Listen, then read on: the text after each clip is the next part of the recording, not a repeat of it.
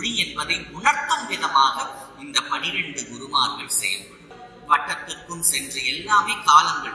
சத்திய யுகமாகட்டும் திரேதா யுகத்தில் நிறுவப்படும் பொழுது அவரை உணரும் விதமாக அவர் உங்களுக்குள் இறங்கும் குரு மட்டும் பெருசில்லை இங்க குரு வந்து நான் இறைவனோடு பேசுகின்றேன். இறைவன் மகரிஷிகளின் ஆசைகளோடு உங்களுக்கு அந்த ப்ராசஸ் நடக்கும். Connecting with committee gathering congregation சொல்லுவாங்க இப்ப நம்மளுடைய ஞானாலயத்துல அன்னைக்கு இறங்குவாங்க.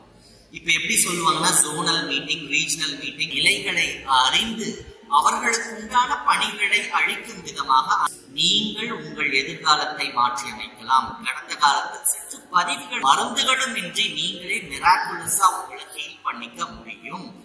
இருக்கின்றது என்பதை உணரும் விதமாக ஒரு ஷிஃப்ட் இன் கான்சியஸாக தேர்ட்டி ஆசைகளாகும். இது எல்லாத்துக்கும் பேக்ட்ராப்